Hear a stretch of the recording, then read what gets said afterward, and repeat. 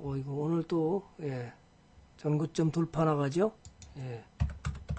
어제부터 뭔가가, 자, 배팅을 하라고 그랬는데, 버- 배팅을 한 사람은 이제 신났고요. 그죠? 전고점 돌파하면서 굉장히 강하게 나가는데, 배팅 못한 사람들이, 자, 아니, 먼저 이게, 제목을 먼저 하고 얘기하겠죠. 오늘 주제는요, 음, 시, 어, 시장의 경쟁력을 위해서 우리는 노력이 필요하다. 이런 제목으로 12시까지 열심히 한번 공부해 보고요. 제가 어떻게 이끌어가는지 거기에 대해서 자세히 설명을 해드리겠습니다. 자, 어쨌든 시장은 지금 뭐 빠른 속도로 지금 전고점을 돌파하고 멋지게 나가고 있죠. 예, 이제 얼마 안 남았습니다. 추세를 전환할 정도까지가 이제 왔으니까 종목들이 상당히 뭐 난리가 났습니다. 그 잠깐 올라오는데도 종목이 난리가 났죠. 자, 어제도 뭐 상당히 강하게 올라가면서 종목들이 어떻게 했는지 막 신고가 행진하고 아우성입니다. 제 말 듣고 주도주를 갖고 있는 사람은 지금은 신났을 거고 다 팔고 잔챙이 먹다가 저거 한 사람들은 돈을 별로 못 벌었을 테고 이렇게 이제 극명하게 갈리는 겁니다. 주도주를 보는데 주도주를 몰라서 그죠? 주도주가 얼마 안 돼 잘라 먹어요 또 그죠? 잘라 먹어. 하, 주도주 제가 어디서 그랬는데 이, 이게 어디까지 가는 겁니까? 제가 저한테 배운 사람들이 이거 오늘 또 올라가잖아요. 어디까지 갑니까? 이거 왜 자르는 거예요? 이 주도주 먹는 방법을 배우지를 못해가지고요. 들고 가지를 못해요. 내려올까봐 겁을 내는 거예요. 어휴, 이 큰일 났다, 이거. 어떡하냐, 또 나가고, 뭐, 솔리드, 뭐, 안 가는 게 있어야지. 또 신고가, 그 다음에 뭐, 또, 또 뭐 있죠? 어, 이노, 와이어리스, 이거 뭐, 난리 났어. 그냥, 그죠? 그 다음에 RFHIC, 예? 이런 걸 먹는 방법을 몰라가지고요. 다 잘라버려, 다 잘라버려. 이 난리 났잖아, 이거. 예? 어떡할 건데? 뭐, 어디까지 간다고 누가 제한을 시켜? 전문가들이요? 전문가가 그만 간다고 잘라요? 아, 그런 말을 왜 믿어? 갈 때는 미쳐서 가는 거예요. 그게 주도주의 방법이에요. 와, 이 전부 신고가잖아요. 그 우리 의견 팔까요? 하나만 예를 들게요. 우리 의견 팔라고 어떻게 하는지 보세요. SNK 폴리트. 전문가님, 나 77% 났는데 자를까요? 그래서 뭘 잘라요? 그랬더니. 뭘 잘라요? 더 먹어야지. 먹다 마냐? SNK 폴리트 오늘 어떻게 했느냐? 자, 여기 올라오니까 자르고 싶어하는 거야, 여기. 요거 먹으려고. 내일 못 간다 그랬더니. 정말 상 나왔는데 잘라요? 그래서. 아니요. 더 들고 가요? 우리 여기 유리원들 와 계시니까 더 들고 가요? 아직 끝난 거 아니에요. 그랬더니. 어, 그래요? 아니, 요걸 먹어, 요거 먹고 말어. 그냥 이거 먹으면 그냥 만족해가지고 그냥 댕강 자르려고 그래서 안 됩니다. 기다려. 요거 며칠 참았더니 상까지가. 어제 또 올라가. 이거 어떡할 건데. 그래가지고 그거 먹고서 그냥 만족해가지고 전부 다 잘라버리고 안 간다고 자기 생각에 안 간다고 잘라버리고 그거 먹고서 아, 이 전문가님 잘랐으면 큰일 날 뻔했네. 그죠? 한화도 그랬어요. 한화도. 아이고 전문가님 나 어떻게 떨어지는데 자를까요? 뭘 잘라요? 더 가야지. 자 여기서 자른다고 떨어진다고 자른다고. 하, 괜찮아요. 잘 들고 가봐요. 좋은 일 벌어집니다. 와 여기까지 올라가니까 그때서야. 우와 괜히 잘랐으면 큰일 날 뻔했네 정말. 이게 주식이에요. 시장이 조금 살아나니까 아우성 나는 거예요 지금. 이걸 안 배우면 매일 그냥 자르다가 올라가면 잘라먹고 조금 먹고 자랑하고 그죠? 그죠? 떨어지면 또 뭐 손절한다고 재 잘라버리고 뭐 좋은 종목을 왜 잘라야 되는 거예요? 손절 안 하니 가만히 있으니까 이만큼 올라가잖아요. 수익이 얼마예요? 손절 안 하니까 손절한 사람은 그죠? 얘도 손절 여기 떨어진다고 손절한 사람은 꽝이었지만 안 사람은 이만큼 올라갔잖아요. 수익이 얼마에 또 차, 자르라고 그러나요? 못 자르게 하죠. 주도주가 가는데 어디까지 간다고 누가 알아요? 그래서 제가 주도주는 어떻게 알아? 함부로 잘라서도 안 되고 못 사서도 안 되고 진단도 안 된다. 진단 불가다. 갈 때까지 가봐라. 추세가 꺾일 때까지 가라고 그랬는데 다 잘라버려. 그래서 템플턴에서 공부를 하는 거예요. 제가 가는 길은 솔직히 이래요. 단기 급등 종목은 자릅니다. 투자 3원칙에 근거해서 어떻게 가야 되느냐. 하나씩 매수 방법, 주도주를 먹는 방법, 어디까지 갖고 가서 장, 그죠? 악착같이 먹는 방법, 매수 방법, 그 다음에 매도 방법. 그죠? 포트폴리오를 어떻게 짜서 강력하게 들고 가느냐. 힘들었죠, 상당히. 힘들었는데 시장이 올라오니까 어떻게 전부 포트가 시뻘개지는 거예요. 난리가 났지요. 그죠? 이건 뭐예요? 주도주. 주도주 샀습니까? 그러면, 자, 그러면 질문 들어갑니다. 피라미딩 전략. 그죠? 물타기 전략은 없죠. 피라미딩 전략. 어떻게 해요? 추천 종목을 어떻게 들고 갈 것이냐. 흔들릴 때 붙들어서 흔들리지 못하게 만드는 게 제가 하는 일이에요. 자, 통신 장비주 분명히 주도주라고 수도 없이 수개월 전부터 여러분들은 끝도 없이 얘기했어요. 유튜브에서도 그렇고요. 아마 여러분 속 뭐죠? 심하게 얘기하면 100번은 들었을 거야. 그렇죠?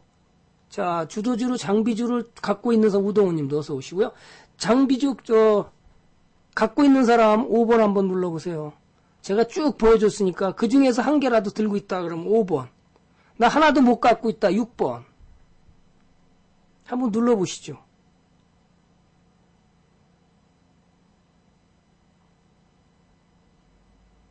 제가 그렇게 많이 얘기했는데도 여러분들이 그걸 배워야 돼요. 그죠?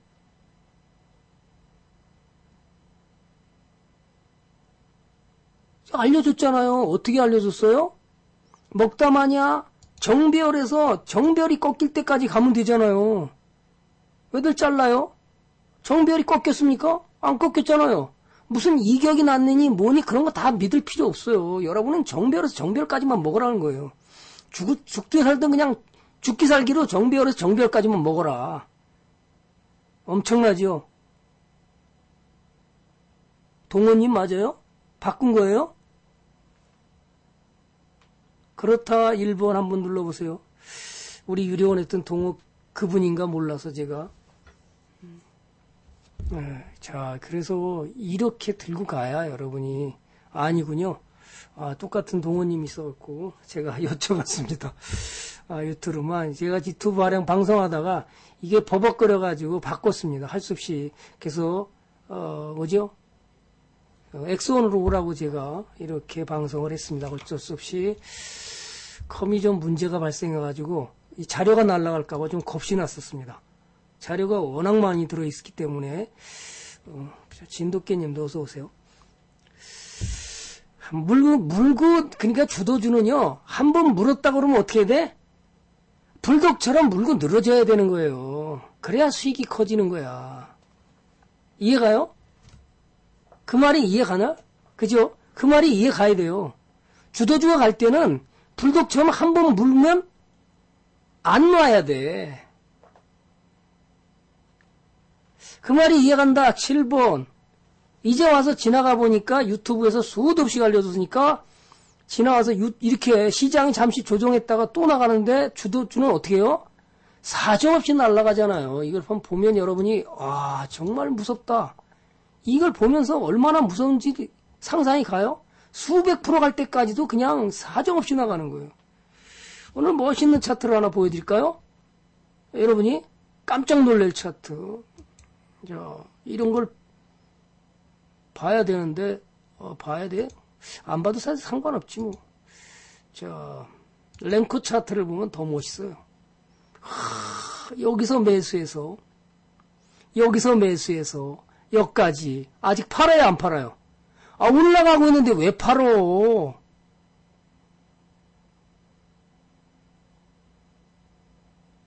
뭐, 그냥 맨날 잘라먹다가, 그저 큰 수익은 내보지도 못해. 이리 가는데 왜 잘라? 이거 엄청나게 날아가고 있는데. 꺾일 때까지 이리 꺾이잖아요. 꺾일 때 가서 자르면 되잖아요. 그죠? 이렇게 꺾여서 쭉 내려갈 때, 아예 안 되겠다. 여기까지만 먹자. 와, 정말 무섭다. 이런 걸 이제 유료방에서 배워야죠. 어떻게 들고 가는지, 그죠? 어떻게 들고 가야 되는지, 참. 대단하다, 그죠? 예, 유료원들이 대단한 거예요. 그 시장이 안 좋을 때 참아낼 수 있는 유료원들이 있었다는 것은 저는 감사하고요. 그분들이 저를 믿고 참았기 때문에 수익이 급격하게 올라오는 거예요, 지금요. 자, 그럼 또 갑니다. 음. 아니, 얘가 왜 꼼짝도 안 해? 네. 잠깐만요. 그리고 이제 제가 이제 아까 말씀드린 신규 회원들한테 이제 메시지를 처음 어, 신규 회원들한테 얘기하기 없어서 제가 이, 이, 이걸 하나 만드는 겁니다. 예, 그래서 만들어서 어, 원칙을 가져가는 방법 그것을 매수 비중의 원칙 그 다음에 분산의 원칙 자금 관리의 원칙 포트폴리오 전략 이렇게 다 만드는 거 피라미딩 전략 종목 추천수 직장인 시스템 매매 설정 방법 업종 사이클 이해 일에서 주도주 잡는 방법 이런 것들을 이제 강의하면서 나갑니다. 자, 그래서 이제 가, 갑자기 종목이 이렇게 나갈 때는 저는 절대로 안 팝니다. 이렇게 나가는 종목은 안 팔아요. 급등 나갈 때 갑자기 급등으로 100% 나간다. 그럴 때는 한 번씩 잘라 먹습니다. 그거는 잘라 먹고 다시 밑에서 사는 게 정석이거든요. 그죠? 네. 그래서 그렇게 아니고는 어떻게 한다? 장기 보유한다. 자, 저는 뭐 끊임없이 템플턴의 가치 투자 연구소로다가 예, 사업자 등록을 하고 예, 우리 유료원들을 이렇게 끌고 가고 있습니다. 시장 상황을 한번 잠깐 보겠습니다. 시장은 이제 두가 여러 가지로 이제 나왔는데요. 미중 무역 전쟁에서 지난번에 트럼프 대통령이 뭐라고 그랬냐면 뭐 대통령은 되, 되도록이면 생략하고 말하겠습니다. 뭐라고 그랬냐면 그 다른 합의를 하겠다. 저는 그 얘기가 무슨 의미인지를 몰랐어요. 근데 이번에 중국에서 상무부가 WTO 제소 결정을 하니까 예, 중국 공세 미국이 총론 합의에서 물러나서 원칙적으로 우선 합의가 가능한 범위 에서 강론적 합의를 하겠다 수정론을 제시한 거예요. 이게 보니까 다른 합의더라고요. 참 말이라는 게 참 웃기죠. 그죠? 지난번에 북한하고의 그 하노이 에서도 뭐라 그랬어요? top-down 방식으로 간다. top-down 방식을 하고 다시 bottom-up 방식으로 갈 거냐? top-down 방식으로 전체를 합의를 해놓고 각개 전투로 나가겠다 이렇게 전략을 짜놓고 그 다음에 전술을 하는 거죠.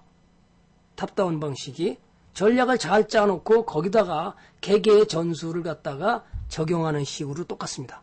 따라서 미국이 이제 그동안에 총론적 합의를 계속 우기다가 합의가 잘 안 되니까 이제는 small deal 하겠다. 각론으로 가서 각개 전투로 업, 뭐 업황이라든지 만약에 조선이면 조선 이런 식으로 small deal을 하겠다. 그런 가능성이 높아졌죠. 그러면서 다른 협상의 의미가 그게 뭔가 그랬더니 이 얘기였었고요. 또 삼성전자가 어제 글로벌 파운드리 포럼이 어제 도쿄에서 개최를 했죠. 난리가 났다는데, 예.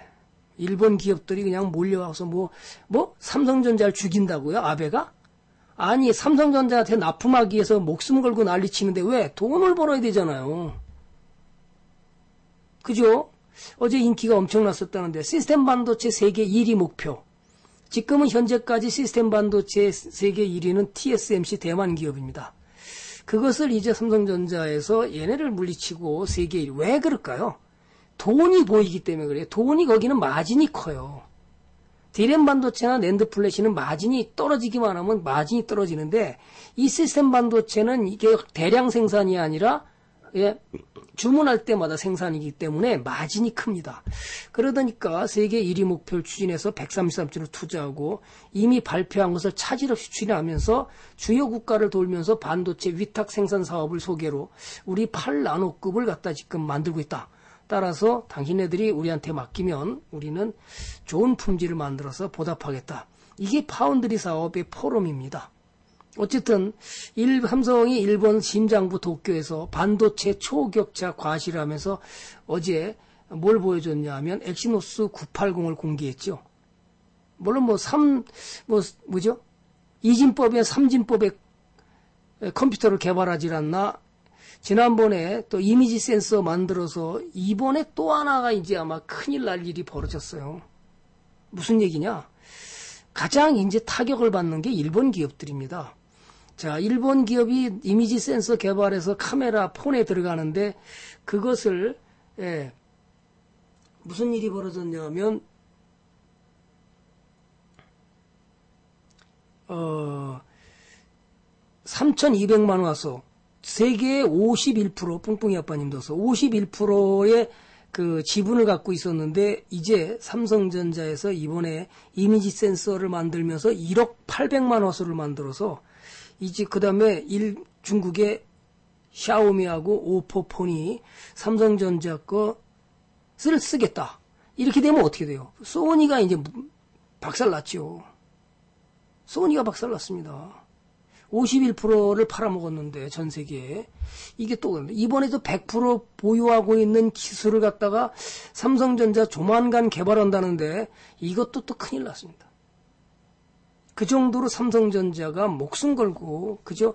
일본이 생각하는 것 이상으로 굉장히 앞서가고 있는데 일본이 지금 건드려 놓고 수습이 안 되는 겁니다. 수습이 안 돼요. 심각하죠. 근데 지금 이거 먹통이 돼서 이렇게 되면 왜 이 저장이 돼가지고 이렇게 잘못 뭘 잘못 눌러가지고. 꼼짝달싹도 안 해요 화면이. 음, 눌러도 안 되고. 자 그래서 조금 더 기다려 보고요. 뭘 저장하는데 98% 가는데 화면이 꼼짝도 안 해요. 이것도 안 되고 저것도 안 되고 종지가 다른 건 다 움직이는데 이 익스플로러가 꼼짝도 안 해. 자, 음, 그래서 이래서 이제 삼성전자가 또 다시 어, 세계 시장을 향해서 어, 시스템 반도체의 대규모 투자를 통해서 지금 지난번에도 말씀드렸지만 삼성전자가 A8 그죠? 그 아우디에다가 그 엑시노스를 1억 1조 2천억인가요? 제가 정확히 기억이 안 나는데 1조 이상을 갖다가 판매를 했습니다. 그런데 아우디 A8의 반도체가 얼마 들어가냐면 자그마치 1000개가 들어간대요.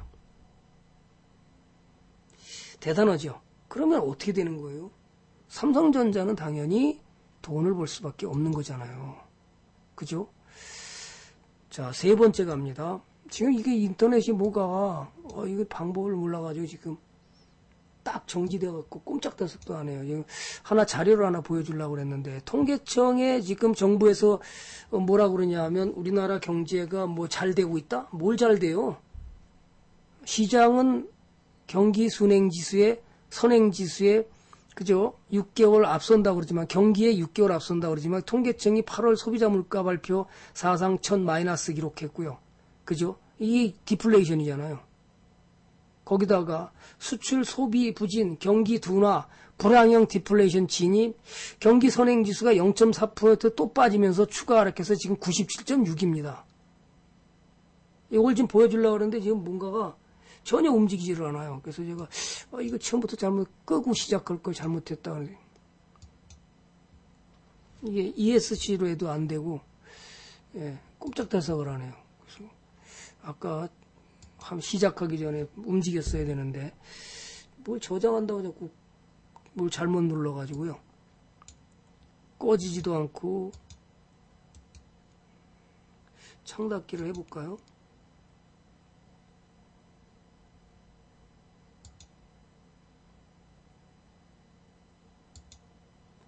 꺼지지도 않고 저장한다고 계속 움직이고 있고 어, 이럴 때는 어떻게 되는 건지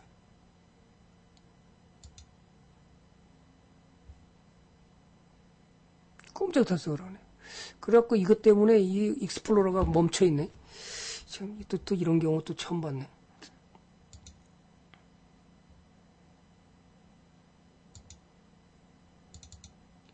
아유, 잠깐만요. 예. 네. 이게 뭐가 움직이지를 않아요. 아유, 참. 음, 아, 아니, 원격으로도 지금 인터넷 익스플로러도 딱 멈춰 있어요. 이것저것 아무것도 안 되는 거예요. 어, 갑자기 이러니까 원격으로도 안 되고 아무것도 아무것도 저장 저것도 안 돼. 이게 어떻게 되는 거야?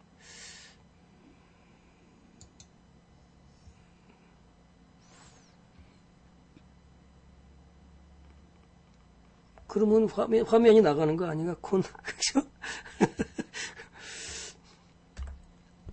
어휴, 이게 더 화면이 나. 이거 이렇게 하면 나가, 나가지. 아이, 큰일 났다. 자, 뭔가가, 어, 음, 이게 또, 화면이, 음, 아, 그래도 안, 안, 안 꺼지는데요. 이게, 모르겠어요. 뭐, 잠깐만요. 음, 음, 이제 원격을 받을 수 있겠네. 그래서, 잠깐만 기다리세요. 아이, 참.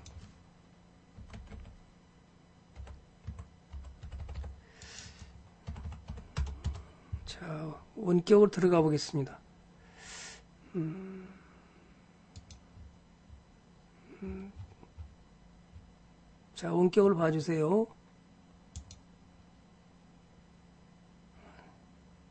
자, 1번 누를까요? 잠깐만 기다리세요. 채팅길도 안 보여요. 음. 여기 지금 아래 한글이 지금 뭘 저장한다고 밑에서 돌아가면서 다 멈, 그죠? 멈춰버렸었습니다. 채팅길도 안 보여요. 다시 끌, 끄고 다시 킬까요? 음. 네.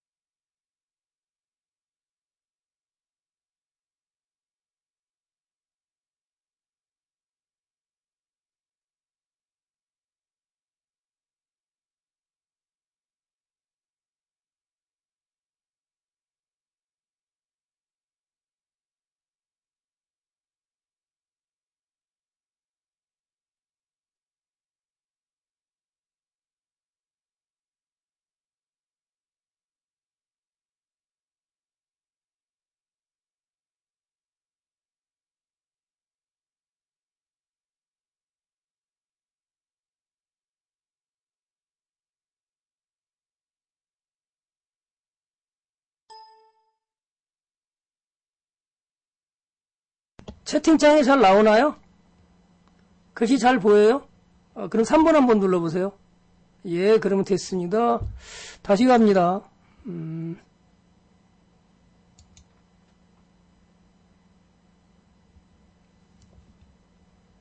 컴이 좀 문제가 발생했나봐. 자꾸만 뭐 속을 새기는 거 보니까.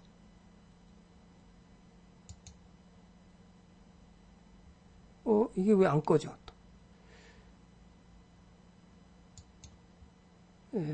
됐습니다.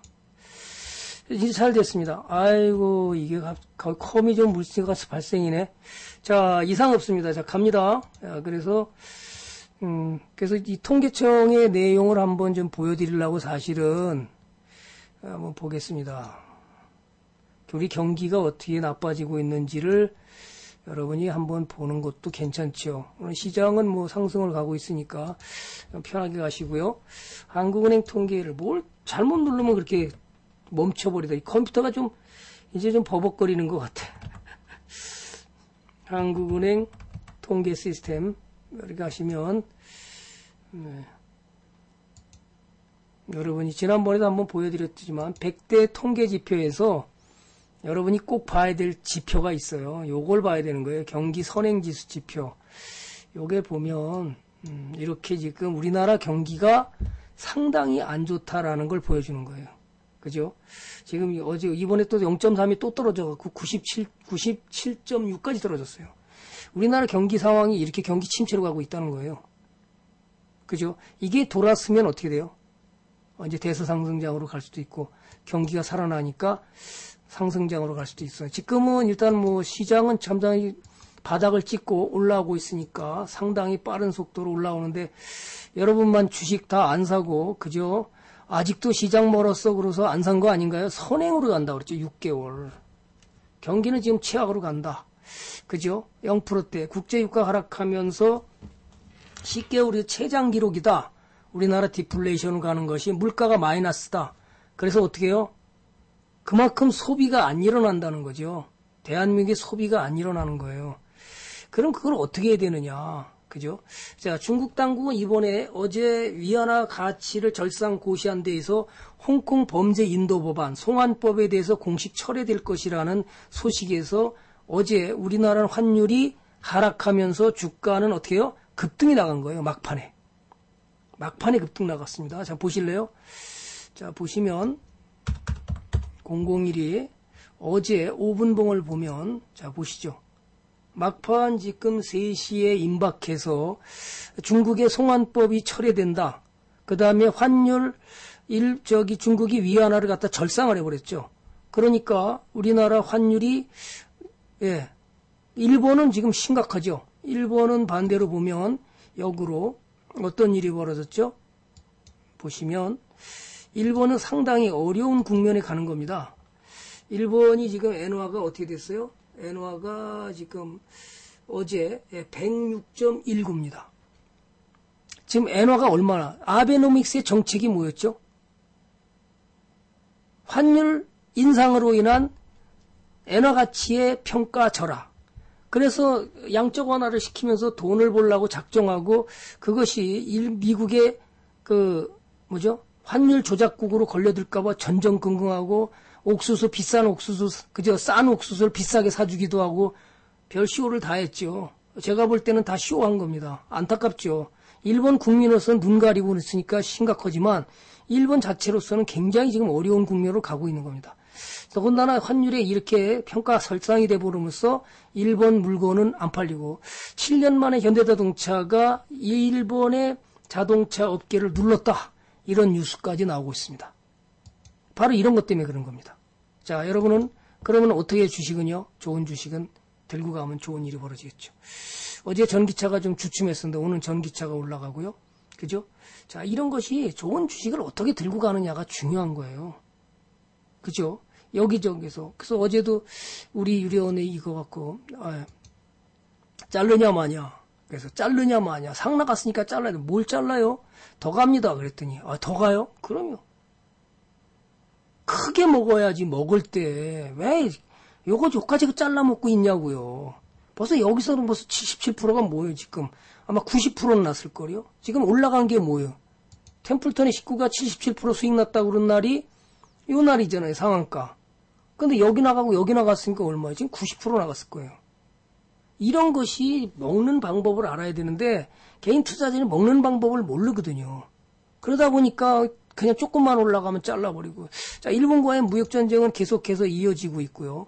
뭐, 일본은 뭐, 거둘 생각을 안 하고 있죠. 자충수도 가지고 일본은 더 어려운 국면으로 갈 가능성이 높습니다. 빠른 속도로 일본 경제학들이 얘기하는 것은 빠른 속도로 대한민국이 부품 소재에서 빨리 국산화 시키니까 깜짝 놀란 거죠. 이제 큰일 났어요. 최근에 이런 얘기까지 나오더라고요. 에칭가스를 그죠 납품하려고 그러니까 우리 우리 저기 지금 어 송도에도 지금 일본 법인이 있죠. 일본 법인에 거기서 또 독립한 벨기에에서 수입해 오죠.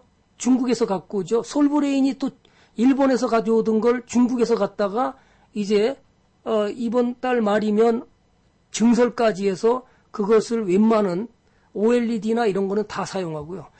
특히 이제 비메모리 반도체 그죠 포토레지스트의 고순도 그거 빼놓고는 웬만한 건 다 어떻게 해요? 국내에서 한다고 그러니까 일본에서 이제는 물건을 싸게 줄 테니까 우리 거 받아달라 이런 상황까지 벌어졌다 그래요. 진짜인지 아닌지는 모르겠지만 뉴스상으로는 그렇습니다. 그러면 일본은 굉장히 타격을 보는 거죠. 제가 이제 그래서 우리 유료원들한테 꼭 이거 사갖고 가야 된다. 불매 운동에 채 95%까지 줄어들었다고 그랬죠. 누가? 일본 맥주가. 그럼 누가 날아가는 거예요? 이 국산화 지금 상황이 이렇게 가고 있어요. 불화폴리이미드, SK 코오롱 PI, 코오롱 인더스트리 양산 개시, SKC LG 생산 계획, 불화수소, 솔브레인 후성, ENF 테크놀로지. 어제가 이제 그 삼성전자에서 솔브레인과 ENF 테크놀로지를 국산화 거의 완료했다고 이 두 가지가 납품했다. 이런 얘기가 뉴스 나왔었고요. 자, SK 머티리얼즈는 당연히 뭐 하이닉스가 뭐 자회사기 때문에 그 다음에 blank mask, 자, 그 다음에 photo mask, 그 다음에 실리콘 웨이퍼, 요게 이제 상당히 일본에서 많이 갖고 오는 거로 알고 있는데요. 그제 컴퓨터 생산하는데, 에, 그 컴퓨터가 아니라 뭐죠? 반도체 생산하는데 실리콘 웨이퍼가 들어가니까 자, 그 다음에 포토레지스트는 예, 동진 세미캠하고 금호화학이 일단 가장 이제 EV용 제품에 대해 개발 능력이 부족해서 이 부분에 대해서가 이제 벨기에에서 수입해 오는 거로 알고 있습니다. 그런데 지난번에 두 번에 걸쳐서 일본이 그거 뭐 오래 있으면 뭐 사용도 못해요. 두 번에 걸쳐서 했고 에칭가스 한번 허용했죠. 다 삼성전자. 하이닉스다 납품했다는 소리는 아무것도 안 들리죠. 자, 그럼 하이닉스는 이미 SK 모티리얼즈에서 어느 정도 복구하고 있다라는 얘기가 사용하고 있었다라는 얘기가 나올 수도 있는 거죠. WTO에 제소하는 것에 대한 두려움으로 얘네들이 그렇게 하고 있는지도 모릅니다. 어쨌든 우리나라가 빠른 속도로 가고 있으니까 상당히 긍정적으로 보시고요. 뭐 우리나라 타격 안 받을 수는 없습니다. 당연히 타격 받습니다. 그러나 그거에 비해서 흑자 국가인 일본은 제가 볼 때는 더 많이 타격 받는다는 거죠. 일본이 적자 국가라면 분명히 좋은데 엄청난 흑자 국가를 스스로 발로 차버렸기 때문에 그죠?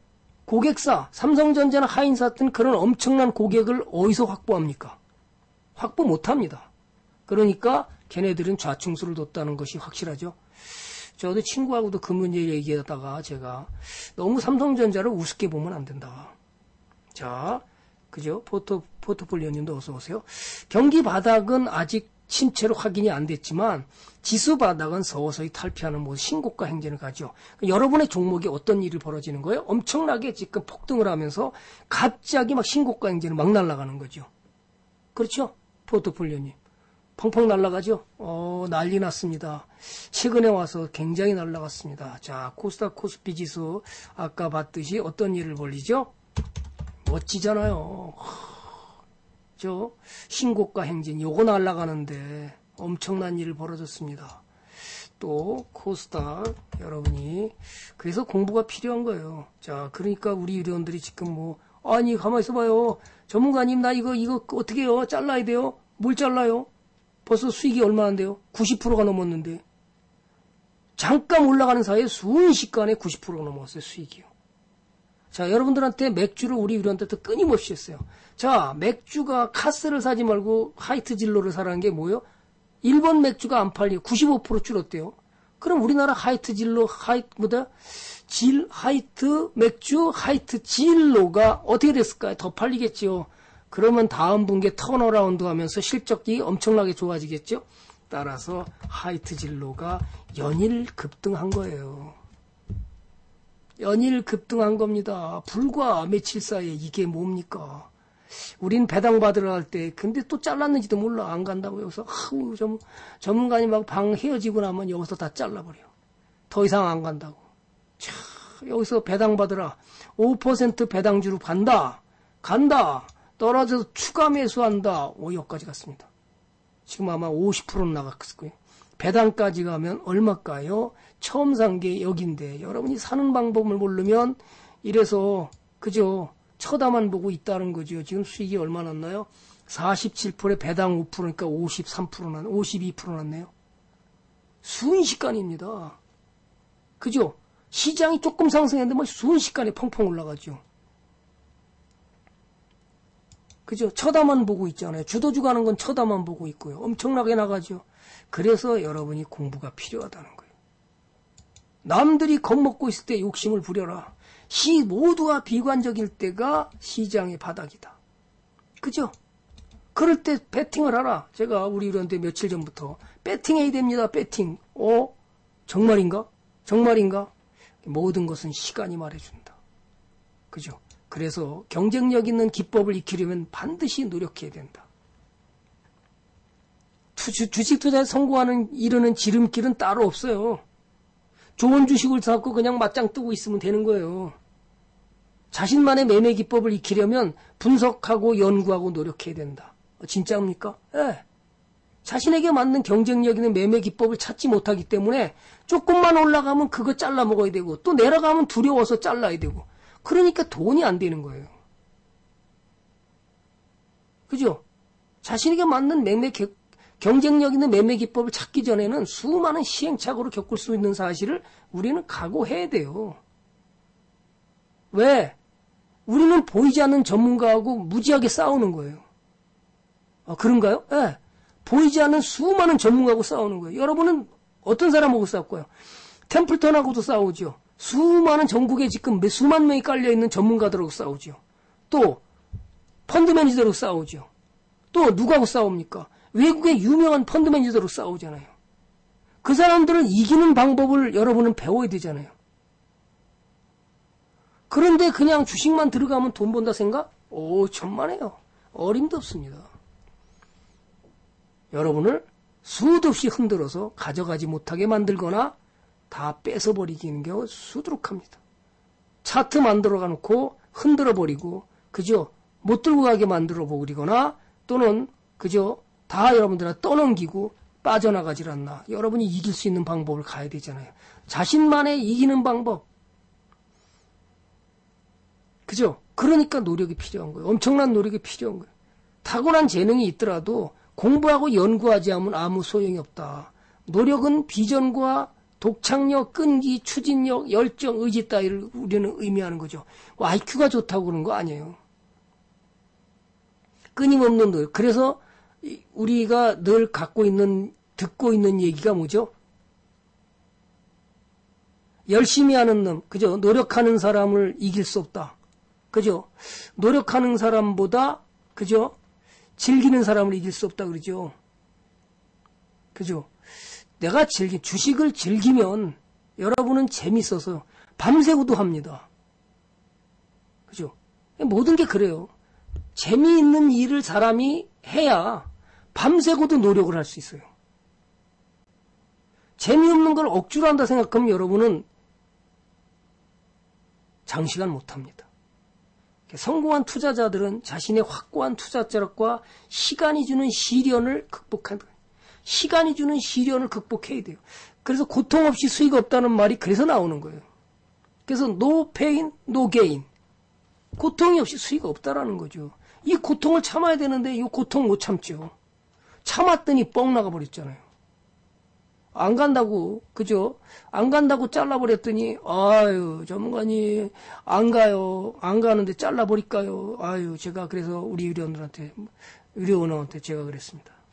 참으세요. 좋은 일 벌어집니다.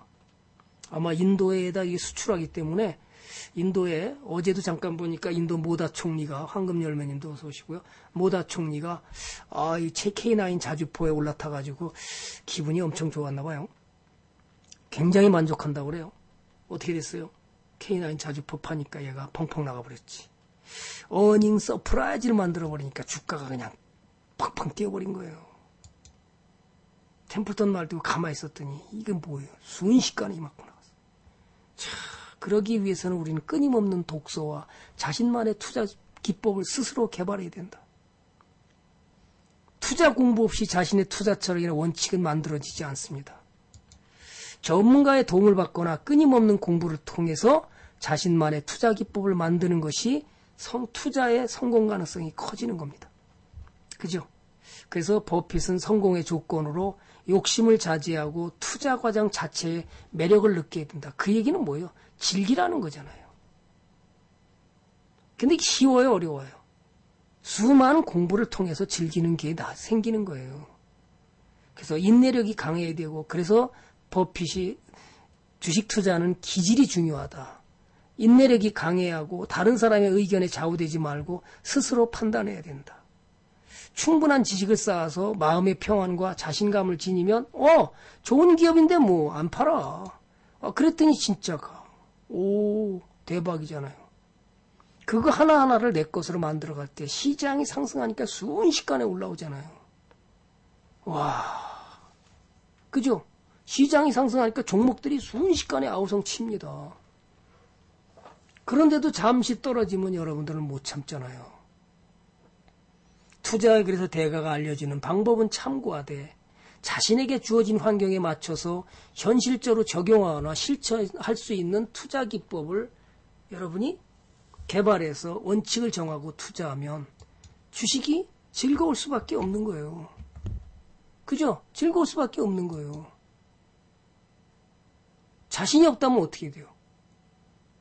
전문가의 조언을 따라야죠. 근데 전문가 말, 전문가 뭐 전문가 선택도 실력이라고 그러는데 전문가 선택을 잘해야 되잖아요. 그죠? 전문가 선택 진짜 잘해야 됩니다, 여러분이. 자, 홀로서기 방식을 배워서 평생 투자가 가능해지는 거죠. 홀로서기 하기 위해서는 여러분이 차트 기법, 재무 분석을 통한 그죠? 재무 재무제표를 보는 법, 거다가 두 개를 통해서 여러분이 종목을 선택했다면 이제는 얼마나 먹을 수 있는지, 얼마나 들고 갈 수 있는지 여러분이 심리적으로 이길 수 있는 인내심을 키워야 되는 거거든요. 인내심이 안 키워, 훈련을 안 하면 이거 키워지나요?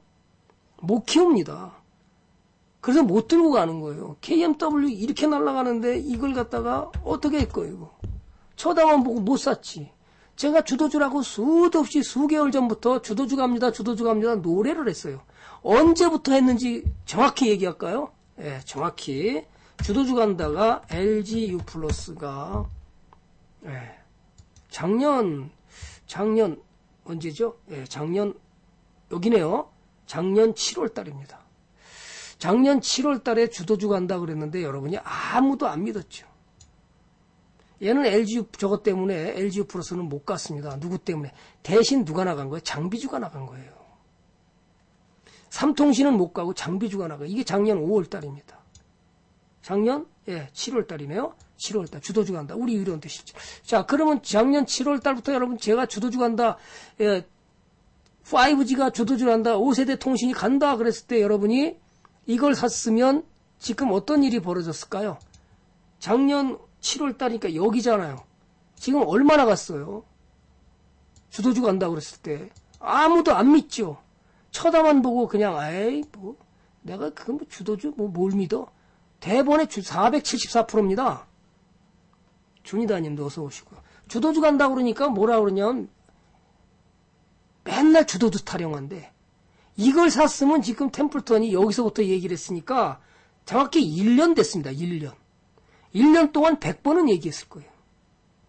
여러분이 샀으면 지금 와 그때 전문가가 주도주 간다 그럴 때 내가 계속 분할 매수로 갔으면 여러분이 돈이 얼마입니까? 안 믿죠? 그죠? 안 믿어요. 안 믿으니까 큰 수익을 못 내는 거예요. 주도주 간다 그럴 때 여러분이 분할 매수로 더 사고 더 사고 그랬으면 음, 뭐요? 이게 오리엔테이션이 그게 나오면서 무슨 문제가 됐었나? 아닌데 잠깐만요. 음.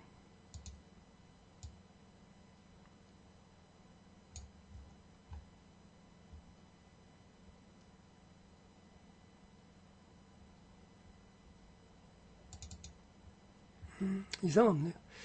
이상 없습니다. 아, 갑자기 컵이 갑자기 뭘 잘못 눌러가지고 저장이 되면서 먹통이 돼갖고 지금 조금씩 이제 버벅거리는 것 같아요. 자, 그래서 여러분이 양이 워낙 많다 보니까 그래서 어떻게 가야 되느냐? 자, 보시죠. 얼마나 종목이 무서우냐. SK 폴리테 아까 봤죠? 멋지게 나가잖아요. 그 여기서 전문가님 나 77% 났습니다. 수익률 자랑 한번 할까요? 아니 몇 프로 나간 건 얘기도 안 하려고 그래. 그래서 그냥 해보세요. 그랬더니 지금 어제 S&K 폴리텍이 77% 났다 그러는데 어제 오르고 오늘 올랐으니까 지금은요, 예, 막 80몇 프로, 거의 90% 났을 것 같은데요. 그죠? 이것이 바로 투자하는 방법이에요. 시장이 상승하면서 이렇게 달라진 거예요. 어디든지 넣어서 오시고요. 자, 그래서 멋진 수익이 간다. 멋진 수익이 간다. 자, 인터플렉스. 여러분이 사는 방법을 모르면, 그죠? 애플이 이걸 또 들고 있는 사람 아직도 있어요. 애플이 납품하던 그저 PCB 회로 기판의 오류로 인해서 스마트폰이 꺼지는 현상이 났었죠. 이게 분기에 600억을 벌던 기업입니다. 애플에서. 엄청나게 돈을 벌어서 이렇게 돈을 버니까 이렇게 날라갔던 거예요. 근데 그 한 번 오류로 인해서 얘가 영업이익이 곤두박질 치고 그 다음에 거기에 대해서 다시 이 기업 쓸까요? 그럼 애플에서는 다시는 이 기업에 대해서 신뢰가 안 가니까 어떻게 해요? 이제 줄이겠죠. 매출을 줄이겠죠. 어떻게 됐어요? 곤두박질 쳐버렸지. 빨리 도망가야 된다고 그랬더니 쭈피쭈피 떠다가 안 도망간 사람 지금 죽었죠. 그래서 뉴스도 검색해야 되고 자기 종목을 관리할 수 있는 능력이 있어야 돼요. 종목이 무슨 일이 벌어지는지 자꾸만 봐야 되는 거예요. 어떤 뉴스가 나왔는지 봐야 되는데 안 본대. 그러다가 아주 박살난 겁니다. 그죠? 이때가 PCB 회로 기판에 문제가 있어서 분기에 600억이라는 엄청난 돈을 벌다가 무너져 내린 거예요. 무섭죠? 자, 또 봅니다. 자, 한화에이래서 제가 우리 떨어뜨릴 때 주가 변동 흔들릴 때 제가 붙들어 주는 거죠. 아, 흔들지 마세요. 펀더멘털 개선 가능성이 크고 인도에다 K9 자주포 어우, 포트폴리오는 105%예요. 축하드립니다. 저분은 제 방에서 1년 이상 공부하고 나가신 분이죠. 축하드립니다. 야, 그게 뭐야. 늦게 산 사람은 70, 지금 80몇 프로. 포트폴리오는 105%래잖아요. 시장이 요즘에 갑자기 그죠? 바닥 치고 올라오면서 순식간에 수익이 나죠. 자, 그래서 강력보로 큰 수익을 보답하고 인도의 K9 자주포 수출해서 또 비행기 부품 수출까지 실적 어닝으로 갈 거다 제가 강력하게 붙들고 알아서 멋지게 나가고 있습니다. 자, 이 사는 방법을 여러분이 뭘 어떻게 해야 되는지를 알아야 돼요. 그죠? 와, 연일 주도주를 보면서도 쳐다만 보고, 아유, 나는 못 사. 그래서 주도주는 함부로 팔아서도 안 되고, 그죠? 어, 또못 사서도 안 되고 그 다음에 이유를 배워야 되고 상승할 때는 제가 뭐라 했어요? 진단 불가. 진단 불가라고 외치는 거예요. 정별로 나갔으면 정별 끝날 때까지 들고 가면 되잖아요. 왜 미리 이격났다고 더 이상 안 갈 거라고 자르냐고. 아까 멋있는 차트 보여드렸죠? 와, 이거, 이거 멋있는 차트? 정말 멋있는 차트죠. 뭐 랭코 차트를 한번 보면 야 정말 야 이것도 폴리텍 나가는데 이렇게 나가는데 잘라요? 그죠? 포트폴리오는 배 터지게 먹을 때까지 들고 가야 되겠죠? 아 이걸 보고 양봉 계속 가는데 왜 잘러? 안 잘라야지. 그 우리 의뢰는 자르고 싶어갖고 몸서리 할 때 제가 안 됩니다. 더 들고 가세요. 그랬더니 더 나가고 있습니다. 아 정말 멋있다. 그죠? 정말 멋있죠? 이게 뭐예요? 우상향하는 거잖아요. 우상향. 우상향하는 걸 왜 먹다 마냐고. 배 터지게 먹어야지. 그죠? 어, 그냥 우상향하는 것만 봐요. 이게 중요한 거 아니니까. 그죠? 어우, 진짜 멋져버려. 아, 멋져버리죠? 자, 아까 그래서 제가 KMW도 너무너무너무 멋져버린다. 아, 얘는 뭐 아닌가, 얜? 예. 그죠. 아, 이거 흔들려가지고 제가 자르고 싶으면 자르지만 배짱 부려도 될 거다. 그랬더니 진짜 배짱 부린 사람 어제 수익률 또 올렸죠. 자, 여러분이 이렇게 보면서 랭커 차트를 다시 가볼까요? 왜 1, 2가냐? 한번 가보시죠. 아, 멋지다. 에코 마케팅 또 가지요. 제 말 들었으면 얼마나 좋았어. 우리 위원도 공부를 하다 보니까 크게 나갈 때 주도주로 갈 때 그걸 크게 먹어야 되거든요. 이제 우리 어, 포트폴리오님이 이제 이게 아주 머릿속에 이제 콱 박혔네. 그죠? 그때 갈 더 사라고 그러니까 이게 무슨 일이 있었냐면 여기서 100% 먹고서 잘랐거든요. 그 자리가 여긴가요? 여기. 100% 먹고 잘라서 그때 아 100, 103%인가 102% 먹고 잘랐는데 더 사야 될 자리라고 그랬더니 더 사야 됩니다. 그런데 잘랐거든요. 그게 이제 지금 얘기하시는 거예요. 자, 그러니까 어떻게 더 나갔어요? 엄청나게 나갔죠. 그죠? 근데 또 내려왔다 또 나가죠. 또 내려가 또 나가죠. 시장이 앉아 떨어진 거지 종목이 앞에서 떨어진 게 아니거든. 또 나가잖아요. 오, 또살 자리네? 그죠? 아, 이것이 크게 먹는 가는 종목. 그러니까 피터 린치가 10개 중에서 두세 개를 텐버거를 먹고 다섯 개 내지 네 개 내지 다섯 개는 그저 그런 수익을 먹고 한두 개는 형편없는 수익을 먹어도 여러분은 엄청난 돈을 번다는 거예요. 그래서 가는 종목을 많이 먹어야 되는 거예요. 그 방법을 템플턴이 가르치는 겁니다. 흔들리지만 아직 고평가 아니니까 강력하게 더 사라. 수익 깔고 있는데 뭘 못 사냐 그랬는데 여기서 자르고 나서 템플턴한테 물어보기 전에 본인이 아, 여기서 안 갈 거다 잘랐는데 그게 이제 후회되시니까 얘기하시는 거죠. 아, 더 갔으면 이게 얼마야. 또 100%가 또 나갔지. 그죠? 이런 것이 이제 공부 방법에서 여러분이 차이가 나는 거죠. 자, 또 갑니다. 그래서 RFIC 주도주는 정별과 실, 정별과 실적이 끊임없이 개선되면서 급등한다. 기업을 믿어라. 템플턴은 안 믿어도 좋다. 기업을 믿으면 이런 일이 벌어진다. 시장 떨어진다고 다 팔고 도망갔더니 그냥 펑펑 날아가 버리죠. 그잖아요. 시장 안 간다고 다 잘라버렸는데, 그죠? 어떤 분은 그러죠? 시장 떨어지는 건 다 자르고 다시 사면 안 될까요? 사집니까? 이렇게 올라가는데? 이렇게 펑펑 뛰는데 사집니까? 안 사지는 거예요. 두려움 때문에 못 사요. 그래서 들고 가야 되는 거예요. 그 방법을 배워야 되죠. 그래서 그럴 때는 여러분이 수익이 많이 난 종목을 50%를 자르고 내 돈 아니잖아요. 그죠? 내 돈 아니에요. 시장이 상승할 때는요. 강력하게 들고 가서 수익을 배 터지게 먹으라고 그러잖아요, 제가. 정배열이 무너질 때까지만 가봐라. 역배열에서 먹어야 뭐 돈을 본다 어쩌다 또 무진장만이 여러분들한테 혼란스럽게 만들 거예요. 정배열에서 정배열만 먹어도 여러분은 엄청난 수익입니다. 그런데 그렇게 얘기하는 사람은 템플턴 분이 없을 거요. 그죠? 그래서 여러분은 또 두 번째 갑니다. 어제의 주가가 내일의 주가를 말해주지 않는다. 그러니까 어떻게 해야 되는 거예요? 기술적 분석에 너무 목매지 말라. 기술적 분석은 기업을 분석하니 아니라 그래프를 연구하는 거잖아요. 물론 주식을 매수하거나 매도할 때는 지침을 주기 때문에 봐야 됩니다. 그리고 또 기본적으로 차트 기법은 공부를 해야 돼요. 템플턴이 끊임없이 연구해서 우리 유료원들이 배 터지게 먹는 차트 기법을 강의하고 그것을 노하우를 알려주는 거예요. 왜 저렇게 갈 수밖에 없었나? 큰 수익으로만 갈 수밖에 없나?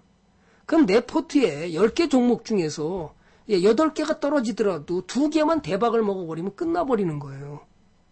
그게 주식의 포트폴리오 전략이라는 거예요. 근데 여러분은 다 수익 내려고 뭐 너무 그러다 보니까 잘 안 되는 거예요, 더. 그 올라가는 거는 두려워서 잘라버리고, 내려가는 거는 또 번전 찾으려고 죽어도 안 팔고. 그러다 보니까 어려움을 겪게 되는 거죠. 좋은 주식은 안 파는 거예요. 주식을, 그럼 좋은 주식을 사야 되는데 대부분이 좋은 주식을 안 사서 들고 온다는 거예요. 무슨 얘기냐?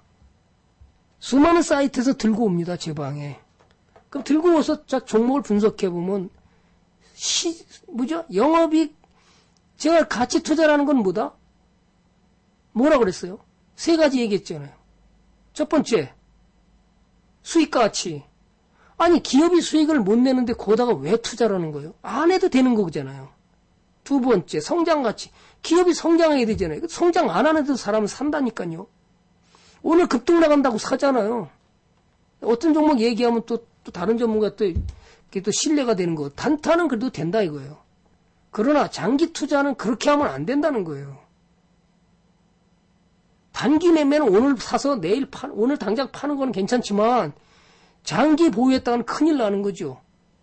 성장 가치가 그 다음에 뭐 자산 가치가 커지는 종목을 사라. 그런데 우리 의원도 들고 오는 게 뭐예요? 이런 거 들고 오죠. 그죠? 성문전자. 이게 좋은 기업입니까? 안 사도 되죠. 왜? 한번 가보자고요. 간단하다고요. 자, 그러면 수익 가치. 야, 적자 투성인데 수익을 많이 냈나? 수익 가치가 없잖아요. 그죠? 두 번째, 성장 가치. ROE가 왜 마이너스에 성장 가치도 없잖아요. 그러니까 뭐예요? 자산 가치 점점 쪼그라들고 있잖아요. 그러면 가치 투자라는 게 아, 수익 가치, 성장 가치, 자산 가치가 점점 쪼그라드는데 안 사도 되잖아요. 여러분 사는 이유는 뭐죠? 수많은 전문가들이 차트 갖고 얘기하니까 차트가 이거 급등 나갈 것 같다. 그럼 급등 나갔기 때문에 여러분이 사는 거잖아요. 가치 투자를 제대로 배웠다면, 아, 저건 내가 동업할 수 있는 종목이 아니야. 안 살 수 있잖아요. 또 볼까요? 자, KR 모터스. 이거 사서 이제 아파한다고요. 자, 수도 없이, 여기서 이제 차트가 상한가 가니까 여기서 사지요. 그죠? 간다고. 그죠? 급등 나갈 거라고. 그럼 한번 들어가다 기업 분석을 한 번만 해봐요. 아, 영업 수익 가치. 영업이익이 맨날 적자야. 3년 연속 적자 기업이야. 여기 엑스원에서 3년 연속 적자 기업 제발 추천하지 말라고 그러죠. 전문가들한테도. 적자 기업이야. 아, 급등나. 안 사지요. 안 사야 되잖아요. 장기 투자는. 두 번째.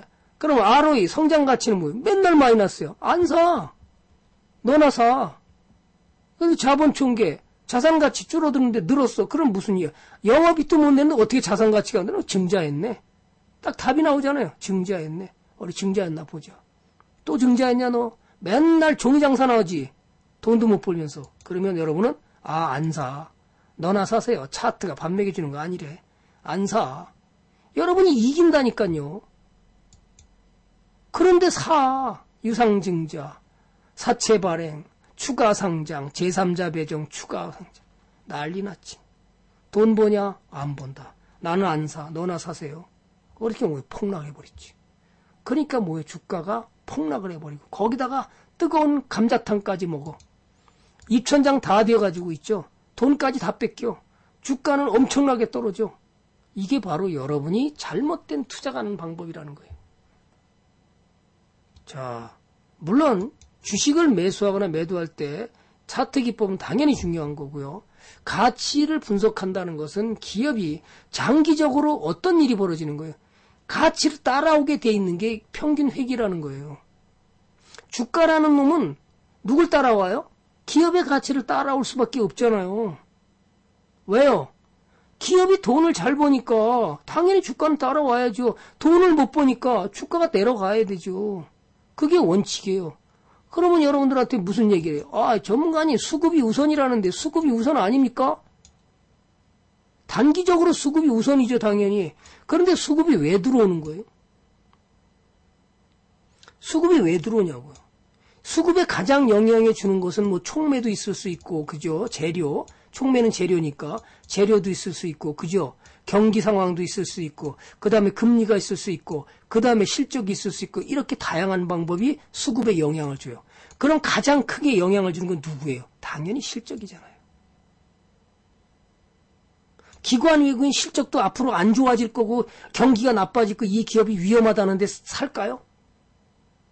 뭔가가 이 기업의 가치가 있을 가능성이 높고, 앞으로 성장할 가능성이 높으니까, 저렇게 KMW가 실적이 부진했을 때 계속해서 샀던 거예요. 그럼 보자, 샀나. 예? 샀나. 왜 저렇게 가냐, 니네들.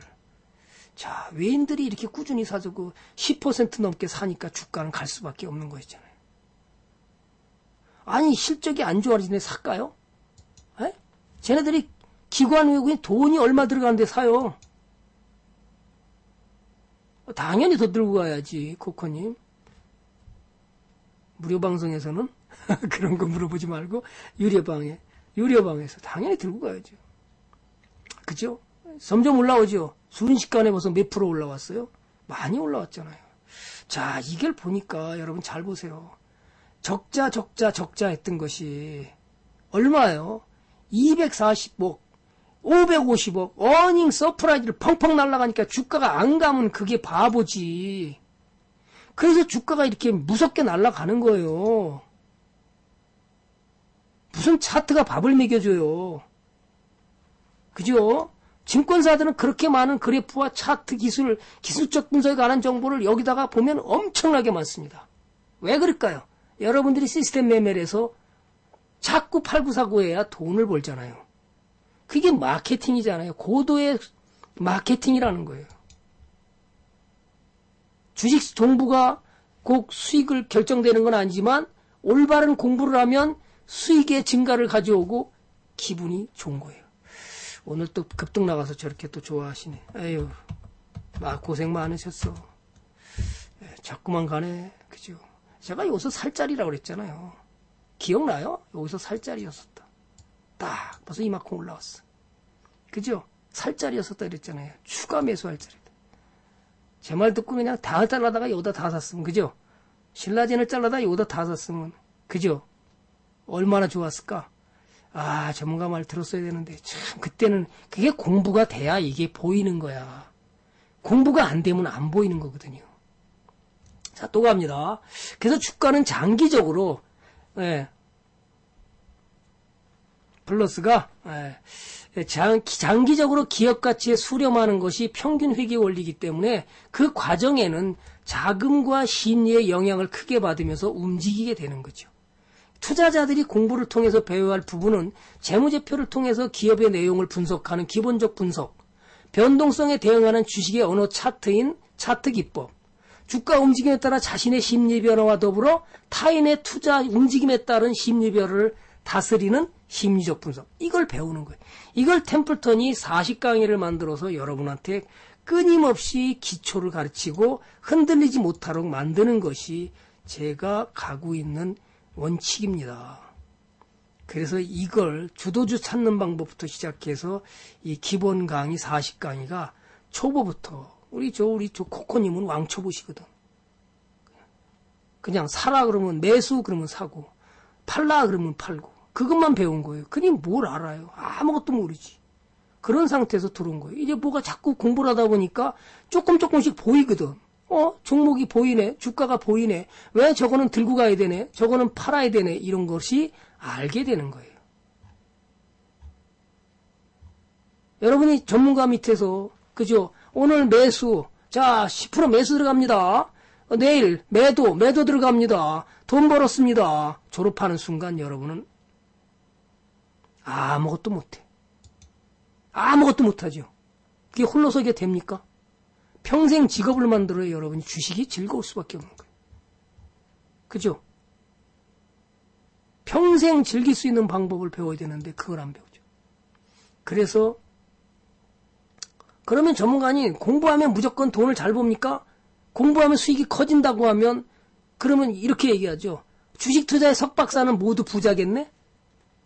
아니면 공인회계 사는 재무 분석을 잘하니까 부자 되겠네? 천만에요. 안 되는 이유가 뭘까요? 첫 번째 뭐라 그랬죠? 기술적 분석. 두 번째 뭐라 그랬죠? 차트 분, 저, 재무 분석. 세 번째 뭐라 그랬죠? 심리적 분석. 심리적 분석에서 안 된다니까요. 공인에게서도 돈 못 버는 이유가 뭐예요? 재무제표는 잘 만들어요. 본인이 들고 가지를 못해. 그죠? 그래서 돈이 안 되는 거예요. 참 신기하죠. 석박사도 마찬가지죠. 들고 가라면 못 들고 가는데요. 주식은 수학이나 과학이 아닌 그래서 종합예술이라는 얘기까지 쓰는 거죠. 투자에 필요한 기본적 지식을 갖추면 부실로 인한 잘못된 종목 선택에서 여러분이 벗어날 수 있죠.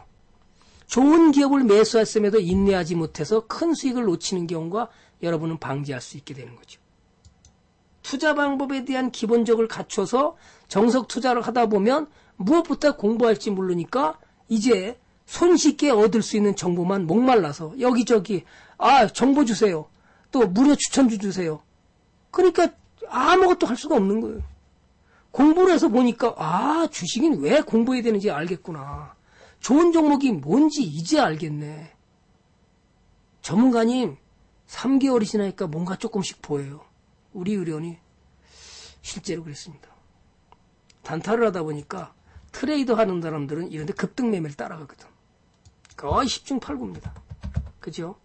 동진쌤이 깼다. 전문가님, 아, 수익이 안 났어. 아, 진짜 속이 터져 죽어요. 그래서 왜요? 그랬더니, 아니, 수익이 안 날 수가 없는데. 제가 추천한 자리잖아요. 추천, 추천. 왜 수익이 안 났어요? 그랬더니. 이렇게 추천 나갈 때는 안 산 거예요. 언제 사지요? 급등 나갈 때. 딱 급등 나가니까, 야, 내일은 더 나가겠구나. 쫓아가서 여기서 산 거예요. 실제 우리 유료원이 그런 겁니다. 몰래. 템플턴이 압니까? 모르죠. 자기 돈 자기가 사는데. 이실 짓고 하겠습니다. 그러더라고요. 일체 유신 좀 넣어서 오시고. 제가 이 전문가니 이실 짓고 할게요. 왜요? 그랬더니. 사실은 여기서 제가 질렀거든요. 아니 추천할 땐 안 사고 왜 여기 가서 질러요? 그랬더니 아 그러게 말해요. 이거라면 더 나갈 것 같아서 쫓아가서 샀죠. 못 사게 딱 막았더니 그래서 여러분이 사는 방법을 모르더라는 거예요. 초보일수록 사는 방법을 몰라요. 이거는 단타하는 사람들은 그렇잖아요. 빨리 사서 급등 나가니까 잘라 먹어야 돼요. 내일 또 나가니까 쫓아가서 사가지고 또 가서 잘라 먹어야 돼요. 이런 걸 하는 거는 될지 몰라도 중장기 투자 이렇게 하면 죽어요. 중장기 투자는 그래서 공부를 해야 되는 거예요. 가만히 있어. 지금까지 가만히 있어도 무슨 일이냐고. 수익 나서 가만히 있죠. 아, 여기서 샀는데 수익 나서 지금도 가만히 있는 거죠. 아무 일도 없잖아요. 여기서 산 사람은 어때요? 뭐 손실 났어요? 별로? 또 나가겠지. 이거 끝난 건가요? 이제 가을 되면, 연말 되면 실적이 더 좋아져서, 그렇지 않아도 실적도 좋은데, 더 좋아져서, 어떻게 해요? 또 수익 내주겠지. 그럼 여러분이 분할 매수하면 되잖아요. 뭐 실적 좋은가요? 한번 봅시다. 영업이익이. 제가 2017년에 719억, 2018년에 715억, 올해 2분기가 488억. 야, 163억, 185억, 217억, 230억, 251억. 일초 월장님도 어서 오시고요. 봐요. 163억, 185억, 217억, 236억, 251억. 매 분기마다 실적이 좋아져. 안 사는 사람이 바보지. 분할 매수하면 되잖아요. 그러면 다음 분기는 또 좋아지겠네? 삼성전자 납품을 더 많아지니까? 알았어. 내가 분할 매수 들고 가면 좋은 일 벌어지겠지. 이렇게 믿으면, 믿으니까 어떻게 해요? 오, 돈이 커지는 거죠. 그래, 이런 건 안 사요. 뭐 사죠? 급등 상한가, 그냥. 그거 몇 푼 먹고 좋아하죠. 참, 돈을 받고 상승하는. 여러분이요, 이런 거 하나 사면 얼마나 부자 되는지 제가 그랬죠. LG 생건을 갖다가 사놓고 지금까지 안 팔고 예 20년 전 사서 여러분 떼부자 됐어요. 에이 말도 안 돼요. 말도 안 돼요. 아니 20년 전에 이 19년이니까 2009년 그럼 2990 여기서 사가지고요. 지금까지 그냥 매일매일 샀어 매주. 아니 매달 샀어. 그래도 좋고 한꺼번에 하다 1억만 담았으면 여러분 얼마나 부자 됐을까? 상상이 돼요? 아 주가가 뭐 요동을 안 쳤나? 가다가 찔뻑 가다가 찔뻑. 아이고 나 죽겠네 나 죽겠어. 아유 전문가님 팔아야 되나요? 팔지 말아야 되나요? 들고 갈까요? 말까요? 뭔 일이에요? 끊임없이 여러분을 흔들었죠. 뭐 2009년이 뭐 폭락했대. 그 다음에 2009년 폭락했대. 뭐 2000 지난번에 또 뭐 난리가 났대. 뭐 무슨 상관 있냐 네 맘대로 해라. 나는 사서 그냥 여기다가 1억 갖다 놓고 아니야 천만 원만 갖다 놓고 여기다가 탁 있었으면 에이 자녀 적금이나 보줘야 되겠다. 우리 자녀 저기 대학 들어갈 때 이제 나이가 이제 3살짜리거든요. 아 계좌 하나 개설해서 엄마가 대신 계좌 개설해가지고 여기다가 딱 묻어놓고 있죠. 그죠? 대학 등록금이나 마련 마련해줘야 되겠다. 공부시켜야 되니까 교육보험 보험 나 안 들어 주식에다 보험 들 거야. 주식에다 내 펀드 내가 짜지 뭐. 딱 천만 원 담았습니다. 예, 대학 등록금이나 만들겠다고. 아, 얼마, 어우, 몇 배 간 거예요? 42배. 천만 원 갖다 집어넣는데 42배가 갔어. 그러면 4억 2천이잖아. 아니, 등록금이 아니라 집을 사주겠다, 집을 사줘. 야, 너 결혼할 거냐? 알았어. 내가 주식 줄게. 결혼하려면 팔아다가. 뭐 해라? 집 사. 서울엔 못 사고, 야, 조금만 변두리만 벗어나도 너 살 수 있으니까. 32평을 사든지 4억이면, 웬만한 그죠? 조금 떨어지면 4억이면 사니까. 아이, 뭐 너무 비싼 데 가지 말고, 그러면 니네 둘이는 집은 갖고 살잖아. 그죠? 아, 이런 걸 하라는 거 이런 거요, 여러분. 부자 되라고. 뭘 그냥 요거 잘라먹고 저거 잘라먹고 해서 진짜 이렇게 4억 2천 벌었습니까? 에? 여러분이 4년 동안, 10년, 20년 동안 4억 2천 벌었어요? 고민을 해보세요, 고민. 템플턴은 이 방식을 권하는 거예요. 부자 되라고. 전부 부자 되라고 그러는 거예요. 수많은 투자자들이 전문가들이 뭐, 뭐 돈을 받고 상승할 종목 알려준다고 당장 뭐맨 저기 가입하라고 뭐 그래갖고 뭐 행운이 연속된 행운이 온다고 뭐 급등 나가서 상한가를 매겨준대나 가장 좋은 투자 기회는 가장 많이 배운 사람이 차지하는 반면 가장 위험하고 나쁜 기회는 재무적으로 가장 배우지 못한 투자자에게 돌아가는 거예요. 좋은 기업이 이렇게 돈을 벌 때는 여러분을 부자로 만드는. 자, 그러면 현대차는 어떻게 쓸까? 정몽구 회장이 부자라는데, 아, 나 현대차 사가지고 그럼 지금까지 떨어지거나 말거나. 야, 20년 전에 그럼 갔으면 무슨 일이 벌었을까? 에? 1999년에 사가지고 그냥, 난 묻어뒀습니다. 나는 그런 거 할 줄도 모르고 주식. 1999년에 사가지고 지금 천만 원 갖다 묻었습니다. 예, 8배 갔습니다. 천만 원이 8배, 8천만 원입니다. 대학 등록금 다 끝났네? 아, 이제 아직 3살짜리니까 20살 넘어가면 대학 등록금 필요하잖아요. 그럼 여기다가 그냥, 아유, 뭐 올라가. 아니, 얘 비쌀 때 사, 팔았으면 되잖아요. 그죠? 여기서 팔았으면 얼마나 될까? 2009년에 사가지고, 에이, 모르겠다. 난 주식 잘, 잘 모르고. 현대자동차는 안 망한다니까 그냥 사서 묻어두지 뭐. 18배 갔네? 천만 원 묻어놓고 우리 자녀 대학 등록금이나 마련했더니 1억 8천을 줘. 은행 갔다가 놓으면 1억 8천 줍니까? 죽었다 깨어나도 못하니 여러분 이렇게 갖고 갈 수 있어요? 갖고 가는 사람이 부자예요. 못 갖고 가는 사람이 돈을 못 부서 부자가 안 되는 거예요. 그래서 95%의 사람이 부자가 될 수가 없는 거예요. 오늘도 잘라 먹어야 부자가 되거든. 본인 생각이죠. 부자가 되는 방법은 너무 쉬워. 안 팔면 돼. 그러면 고점 가서 이렇게 엄청나게 수익이 주도주로 갈 때는 사지 말아야 되잖아요. 그래서 그게 공부가 필요한 거잖아요. 주도주로 써먹은 종목 사면 안 되잖아요. 주도주로 써먹으면 얼마요? 8년에서 10년 떨어져요. 에? 그러니까 그런 공부를 해야 여러분이 아, 이건 사지 말아야 되는 거구나. 이건 사야 되는 거구나. 사서 장기로 묻어두면 등록금도 되고, 그죠? 부자도 만들어주고 다 한다는 거예요. 여러분 근데 뭐요? 부실 종목 상한가 간다고 그거 사가지고 다 깡통 나고 주식은 하는 거 아니야. 주식이 하면 패가 망신데 주식했다 그러면 인생을 뭐또 망쳐서 그죠? 자살하게 돼. 그렇게 되는 거잖아요. 근데 무슨 일 했어요? 아, 좋은 기업 동업했더니 다 돈 벌어줘. 종목 하나 잘 선택하면, 그죠? 우리 집 귀한 아들보다도 더 나. 그죠? 귀한 아들보다도 더. 아니, 돈을 너무 많이 줘서 그냥 은퇴 자금이 저절로 돼. 그런데 은퇴 자금을 갖다가 그냥 다 갖다 날려. 하, 주식 모르는 데 갖다 그냥 부실 종목에 상한가 한다고 거기다가 그냥 있는 대로 몰빵하고 거기다가 또 상까지 뭐죠? 12배씩 날라간 종목에다 갖다 몰빵해. 이렇게 조광, 피육.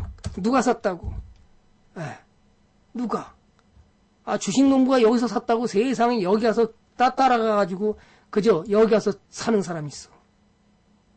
은퇴자금을 3억씩, 뭐 1억씩 갖다 여다 갖다 집어넣어. 이게 폭락을 해버리는 거. 이게 주도주로 써먹은 거잖아요. 그러니까 이걸 배우지 않고는 여러분이 이길 수 없다라는 거예요. 그죠? 어떻게 해요? 야, 그러면 또 종목 잠깐 보고요. 그래서 공부가 필요한 거예요. 어떻게? 주가가 30만 원 간다고 그냥. 아 변동성 찾아서 30만 원 간다고 그러니까 그냥 있는 돈 없는 거 아니 여기서부터 이렇게 많이 올라간 걸 무슨 30만 원 간다고 말에 가서 갖다 있는 대로 질르냐고. 그러니까 그냥 불나방처럼 그냥 탐욕과 공포에 그냥 휩쓸려 가지고 엄청난 손실을 가는 거지. 우리 이런 우리 유료원도 여기서 엄청 손해 봤어요.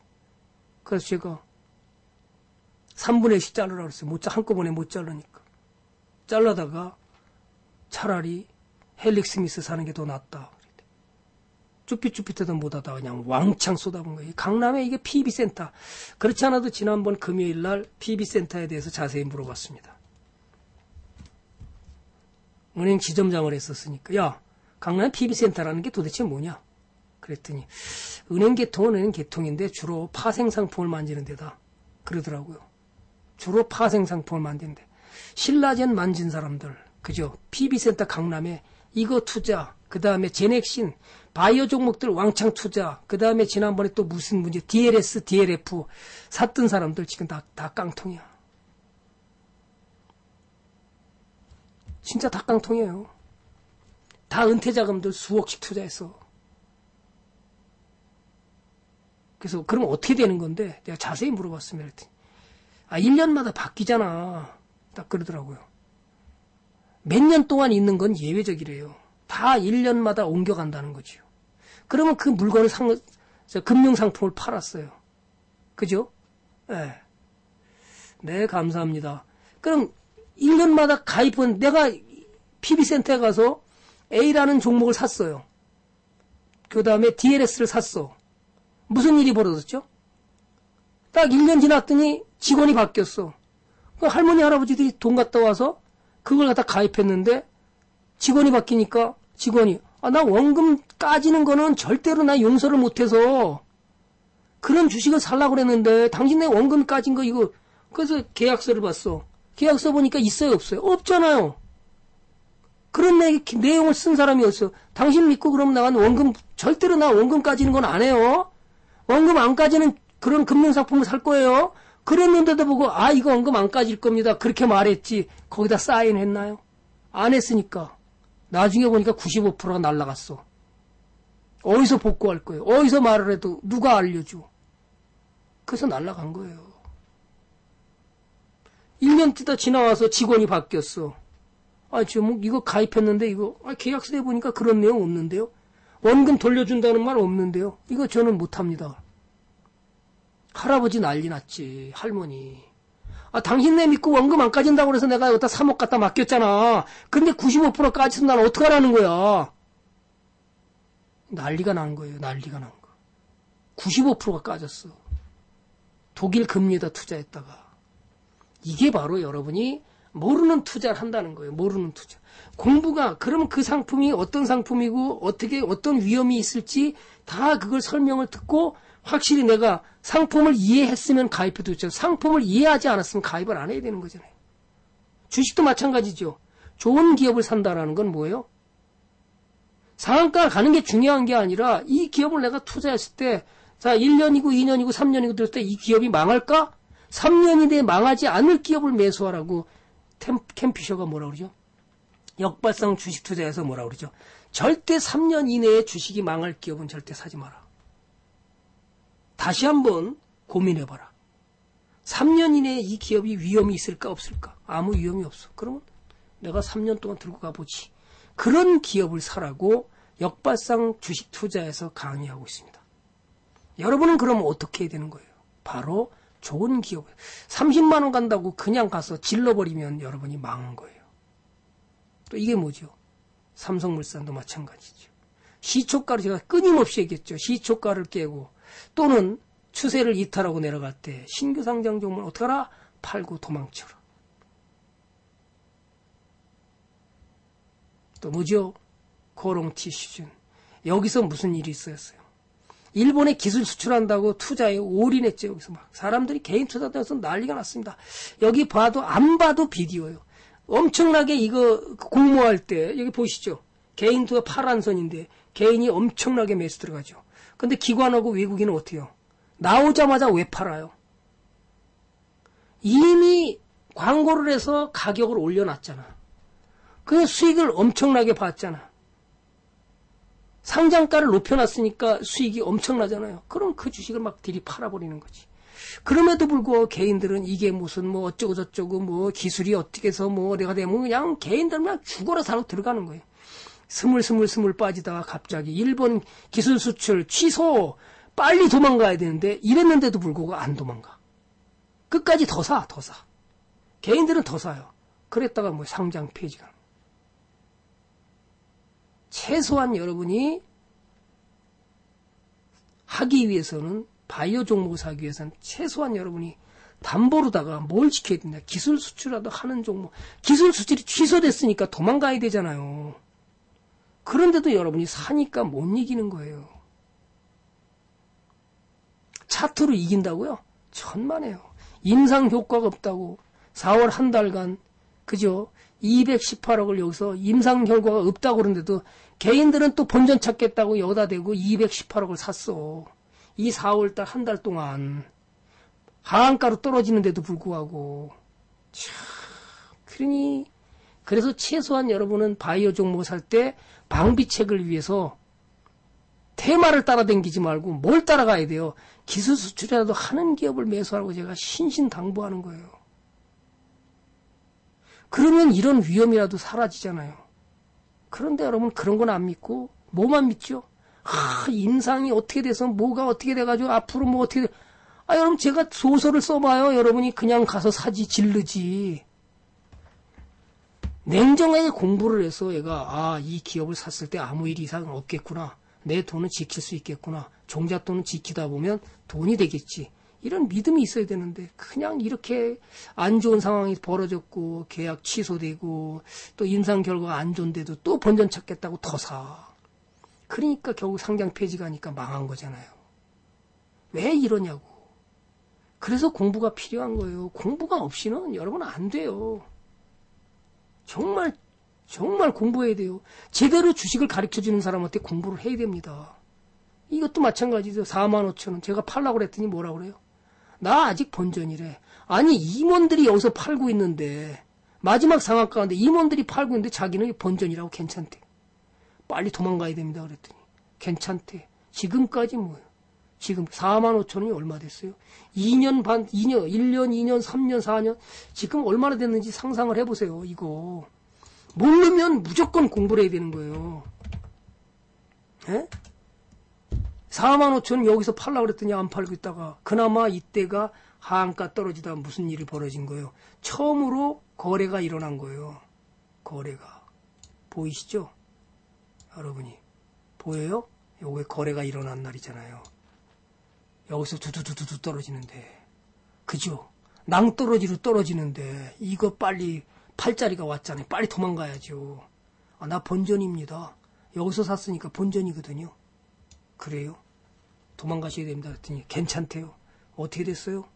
괜찮아요? 지금 4만 5천 원이 3,200원 됐어요. 친구란 놈이 여기서 샀길래 제가 9월 달에 만났어요. 당장 안 팔라? 빨리 팔아 임마. 그랬더니 야 그거 팔아야 되냐? 뭘 믿어 믿기는 돈도 한 푼도 못 버는데 그랬더니 알았어 생각해 볼게. 지난 동창회를 작년 지난 여름에 만났는데 팔았냐 그랬더니 팔았대. 에이 살 종목을 사야지 모르면 물어나 봐. 어? 결국은 뭐요? 다 떨어져가지고 지금 보세요. 이 4천 원 돼서 4천 원. 얼마가 4만 5천 원이. 그럼 얼마에 10배가 날라간 거야. 얼마 샀는지 모르지만 이렇게 여러분이 그래서 공부가 엄청나게 필요한 거예요. 주식은 공부 안 하면 집니다. 공부해도 어려워요. 왜? 시장은 심리적인 것도 많기 때문에. 그죠? 자, 그러면 세 번째 가기 전에 노래 한 곡 듣고 갈까요? 음, 저는 여러분들한테 이 투자 지침을 매뉴얼을 하면서 제가 주식 투자 3원칙을 근거해서 이게 만든 겁니다. 그래갖고 개인 투자자를 매수하는 방법을 어떻게 해야 되는지, 매도하는 방법은 어떻게 해야 되는지, 포트폴리오를 짜서 어떻게 되는지, 주도주 가는 종목은 하나도 못 잡고요. 그죠? 또 포트폴리오를 어떻게 전략을 짜서 들고 갈지, 그 다음 단기 추천했는데 단기 급등했습니다. 그런 거는 자르라고 합니다. 시스템 매매를 직장 다니는 사람들은 시스템 매매를 통해서 여러분이 설정을 해놓고 나가면 알아서 잘라줍니다. 그것을 가는 거고요. 주도주를 갖다 배우는 방법, 주도주를 어떻게 사는지 예, 그런 것들을 하나씩 배우면서 예, 시스템 매매까지 직장 다니는 사람들한테는 이렇게 해서 차트기요. 제가 나름대로의 개발해서 배 터지게 먹는 방법을 갈 수 있도록 그것이 제가 하는 투자 원칙입니다. 자, 노래를 두 곡 듣고 그리고 또 계속 하겠습니다.